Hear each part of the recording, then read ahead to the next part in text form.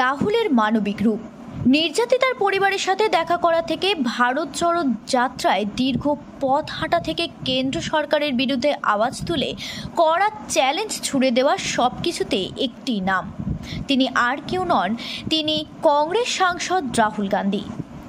এবার মানবিকতারও আরেক নাম হলেন তিনি।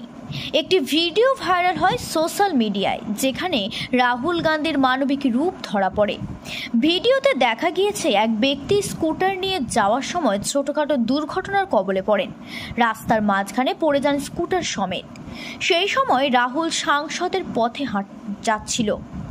তাকে দেখা যায় ওই ব্যক্তির কাছে গিয়ে তার খোঁজ খবর নিতে। তিনি জিজ্ঞাসা করেন, আপনার ব্যথা পাননি তো? তার এই মানবিক মন জিতে নিয়েছে নেট দুনিয়া।